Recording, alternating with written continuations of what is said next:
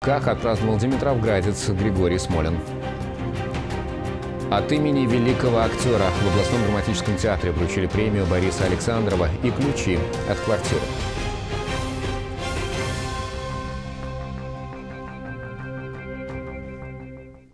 В хирургическом отделении областного клинического онкологического диспансера завершились ремонтные работы. Это был заключительный этап в модернизации хирургического корпуса. Палаты осмотрел глава региона, после чего провел совещание, на котором обозначил основные направления в работе здравоохранения. Хирургическое отделение медучреждения готово принять пациентов. Оно предназначено для лечения больных с опухолями головы и шеи. Отделение развернуто на 24 койки. Этот корпус, кроме обозначенного хирургического отделения, вмещает также больных с, отделением гинекологии, урологии и э, заболеваниями молочной железы. Кроме того, здесь находятся две лаборатории – патологоанатомическая и клиника диагностическая. Ремонтные работы проведены на сумму почти 9 миллионов рублей. А на 2017 год запланирован ремонт еще в двух корпусах медучреждения. При этом, как отметил на совещании губернатор, планируется расширение онкологической службы. На первый план, как вот сегодня было сказано, еще раз э, э, жизнь вот, э, выдвигает онкологические заболевания. Все, что связано в с онкологией. Конечно, нам здесь нужно будет расширять наши здесь мощности. А это значит новый стройка. Но вот сначала еще думаю, что мы начинаем строительство областной больницы, а потом уже, так сказать, вот э, и параллельно. 2016 под эгидой года здравоохранения прошел успешно, отмечают медики. 2017 объявлен годом сохранения репродуктивного здоровья. В связи с этим продолжится совершенствование системы оказания медпомощи при родах. Будет сдан в эксплуатацию главный наш объект, это перинатальный центр. На сегодняшний день уже более чем на 80% работы завершены. В течение э, года мы проведем лицензирования, соответственно, женщина уже получит возможность э, рожать э, на этапе третьего уровня в новых условиях. Также в этом году планируется сдача еще двух объектов – Центра сохранения женского здоровья на Корсунской улице и в Засвияжском районе. Кристина Агафонова, Мария Сафронова и Герман Баранов. Вести. Ульяновск. Стрелку из «Белого ключа» дали 17 лет колонии строгого режима. Сегодня суд вынес приговор Рустаму Кашапову. Напомню, рано утром 24 августа 2015 года пятеро мужчин с огнестрельными ранениями были доставлены в учреждение здравоохранения. Как выяснилось следствие, в ту ночь потерпевшие находились возле одного из домов по улице Ленина в поселке Белый Ключ. Неожиданно у них произошел конфликт с 28-летним пассажиром, проезжавшего мимо автомобиля. Последний, вооружившись охотничьим ружьем 12-го калибра, калибра произвел несколько выстрелов. В результате один из потерпевших скончался. При этом 32-летний ранее судимый за кражи водитель машины Михаил Ранцев увез злоумышленника с места преступления, после чего спрятал транспортное средство на стоянке, за что и был сегодня приговорен к одному году 9 месяцам колонии строгого режима. Григорий Гаврилович Смолин, житель города Димитровграда. Он участвовал в Великой Отечественной войне, служил в Кишиневе в послевоенные годы. 23 года служил в военно-строительных частях особого назначения в самых разных уголках СССР. Участвовал в строительстве атомных объектов в Сарове, Ниара и соцгорода в Димитровграде. А в эти выходные он отметил столетний юбилей. Родился юбиляр 21 января 1917 года в деревне Кузюмово Вятской губернии в Удмуртии в большой крестьянской семье. Работал с 17 лет, был бригадиром в колхозе имени Кирова. В 1938 году призван в армию. В 1939 окончил полковую школу младших командиров. военные годы готовил перед отправкой молодых солдат, учился сам и участвовал в уничтожении мелких групп противника в белорусских лесах. Конец войны встретил уже в Берлине, у здания Рейхстага вместе с однополчанами. По словам Григория Гавриловича, это была не только Великая Победа, но и своего рода международная ярмарка. Солдаты и офицеры стран антигитлеровской коалиции обменивались и торговали самыми разными вещами друг с другом. Особенно, говорит, это любили англичане, что смешило американцев, которые лучше других относились к русским. Удивительно, но помнит он все в деталях. И один из офицеров высокий, высокого роста – мне подарил бритвенный прибор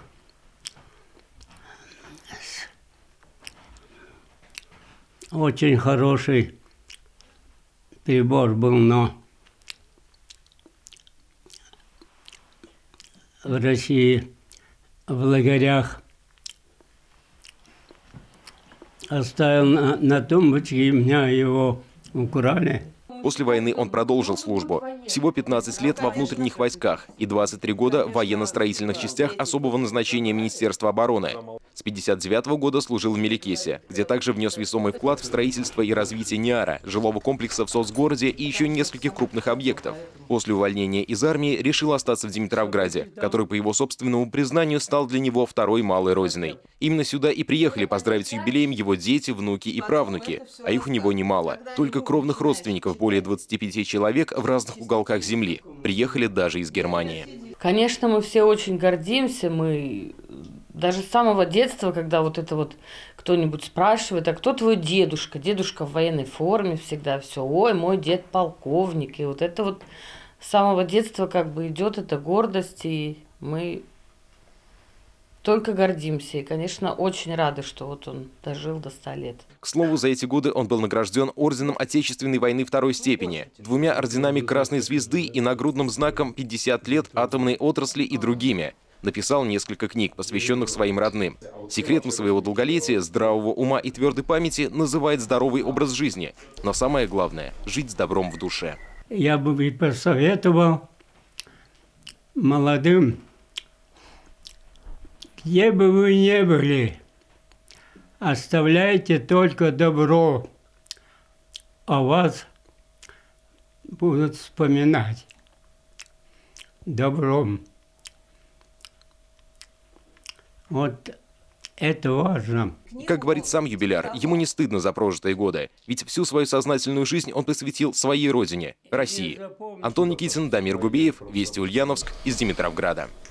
Он заставлял зрителя и плакать, и смеяться. Больше 40 лет ему рукоплескал зал. Теперь стипендии его имени награждают лучших актеров региона. В Ульяновском областном театре драмы прошла седьмая торжественная церемония вручения премии имени Бориса Александрова. В 2016 году обладателем сертификата на получение стипендии стал актер Николай Авдеев. В составе труппы он отыграл всего один сезон. Эта награда, признался артист, для него настоящий подарок.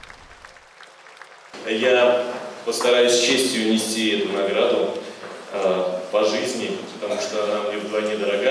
Это первая награда, которую я получаю на сцене нашего театра. А, и самое главное, наверное, то, что эта награда носит имя э, моего, нашего мастера, моего педагога, нашего учителя Бориса Владимировича Александрова. В этот вечер подарков было немало. Один из крупнейших застройщиков нашего региона вручил сертификат на покупку двухкомнатной квартиры в Ульяновске. Счастливой обладательницей его стала актриса театра драмы Мария Прыскина. Большое спасибо, я, я в шоке. Спасибо большое всем. Я ну, должна признаться, что получила свой дом и свой угол, о котором я всегда мечтала. Спасибо театру. Спасибо большое. Также за большой вклад в развитие театрального искусства в регионе, высокое профессиональное мастерство и многолетнюю плодотворную творческую деятельность медалью почета награжден ведущий мастер сцены Ульяновского драмтеатра, заслуженный артист России Владимир Кустарников. Я хочу сказать, что артист знает все Поволжье, знает ближайшие областные соседи и далекие ближайшие соседи. В России нет театра более обласканного любовью и вниманием губернатора, чем наш. И от всего театра спасибо вам. Подлинные вещи, редкие фотографии, интерактивные экспонаты – все это выставка, посвященная истории театрального искусства. Открылась она в Ульяновском доме архитектора Федора Левчука, в народе «Дом актера». Экспозицию с интересом осмотрел губернатор Сергей Морозов перед тем, как провести встречу с сотрудниками музеев, которые входят в комплекс «Родина Ленина». В частности, глава региона напомнил о серии акций «Год добрых дел», в которых могут принять участие и наши музеи, тем более, что Ульяновск известен своими традициями в этой сфере. Вчера очень много говорили о преемственности поколений, о преемственности эпох, э, связанной с добровольчеством, с меценатством, э, с э, вот этими благотворительными добрыми делами, которыми славился Симбирск, которыми славился и советский город Ульяновск, которыми славится и сегодняшний город Ульяновск уже новой России. Кроме того, в наступившем году большое внимание уделят и проектам, которые связаны с музеями. В частности, начнется работа по открытию усадьбы Дениса Давыдова в Радищевском районе. Продолжится активное сотрудничество с крупными столичными учреждениями культуры. К финишу с ветерком и лаем в регионе впервые прошли зимние соревнования по ездовому спорту. Трасса покорилась и профессионалам, и даже трехлетним любителям. На старт вышли спортсмены из пяти городов, а к финишу со всех лап неслись не только нарты. Вместе с четвероногими в упряжке впряглись еще и лыжники. За снежной гонкой наблюдала Кристина Агафонова. Их едва можно удержать на старте, но главная задача – сдержать любопытство уже на самой трассе. А для скиджардистов – сохранить скорость. Замечательно, классно. Правда, мы немножко догнали четвертый номер и не смогли его обогнать. Ребята у меня в этом сезоне первый раз стартуют, поэтому один из них вообще только первый, вообще первый раз стартует. Он маленький совсем еще. Вот, и обгон у нас, к сожалению, не получился. Мы должны были обогнать и уйти. Обогнать обогнали, уйти не смогли. Пришлось опять соперника пропустить вперед. На отдых времени мало. Лохматую упряжку быстро запрягает в нарты дочери. Черную штуку специально шлем положила. Она закрывает горло. На старт вышли не только лыжники. К финишу любители скорости потянули ездовые двойки и даже шестерки. Пошли! Я принимаю участие не для победы, а для интереса. Классно, что ты ездишь по разным городам, что это весело, это очень энергично, это просто общаешься с собаками. Это простое общение и нечеловеческие эмоции стоили ей красивого увлечения. Четыре года назад Лиза променяла бальные танцы на уличные тренировки и ездовой спорт. На спринтерской дистанции и быстрые хаски, и выносливые маламуты. А вот истории тех, кого покорили лохматые носы и красивые глаза, похожи одна на другую. Ездовой спорт у нас, так сказать, появился в нашей жизни, когда купили первую собаку. Сначала купили, ну как, для себя, для души, для удовольствия, потом решили бегать. С одним весело, хорошо, но бегаю я с собакой, жена сзади на лыжах. Ей неинтересно, купили второго. И все равно второго тоже отнял. Теперь надо третьего. Дорого. Но весело и здорово. И мы довольны. Почти 5 километров для взрослых и полтора для детей. Первые ульяновские соревнования собрали почти 70 любителей активного отдыха из разных городов Поволжья. Дистанцию мы накатываем уже месяца два или три. Трасса у нас скоростная. Она не сложная, но скоростная. Приоритетная в наших соревнованиях то, что вот здоровый образ жизни – и любовь к животным. Победителей выбрали сразу в 18 номинациях, но самыми ценными для тех, кто пересек финишную черту, стали объятия семьи. Скажи, мама молодец. Мама молодец. Из лыжницы в тренеры. Для них ездовой спорт уже давно превратился в семейный вид отдыха. Ульяне нет еще и трех лет, но она уверенно держится в обычных санках. Их и потянет по снежной трассе любимица Юта. Если начинать с простого, то это всегда свежий воздух. На природе постоянно тренировки. Ребенок с детства какой-то у него есть интерес, любовь к животным, к спорту, активному образу жизни, поменьше компьютеров и так далее. Вот. Думаю, что не зря. Почти щенячьего восторга здесь хватило каждому. Лохматых героев заездов зрители не отпускали долго.